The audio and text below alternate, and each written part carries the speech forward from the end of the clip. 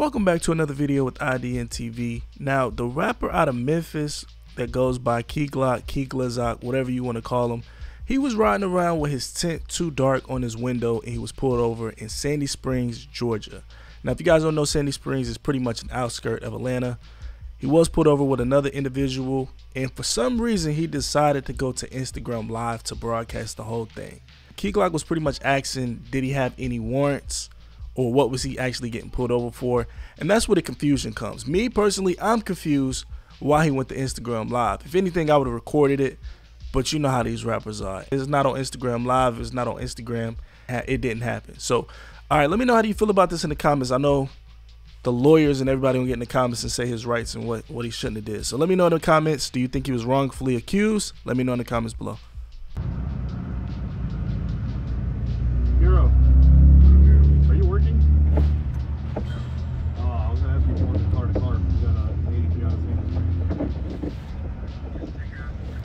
Whatever, bye. You don't want to get in that traffic, huh? Huh? You don't want to drive in that traffic, huh? Nope. Come on, man. Go take me out there, man. oh.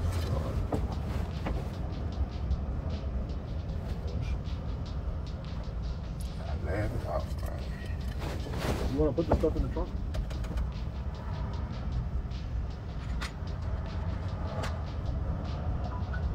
So where where that place gonna be at? It's gonna be in, what? The, for the guns, it's gonna be in Sandy Springs? No, it's gonna be Atlanta on Bankhead though, once you get out.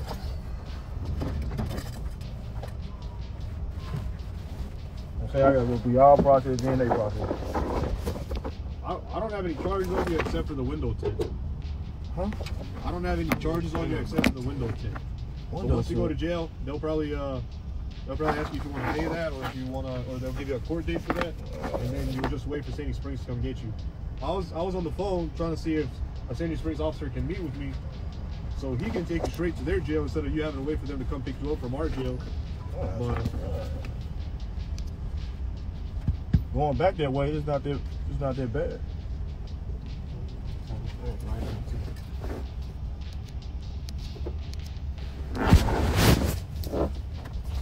Uh, Mr. Cathey, what's a good phone number for you?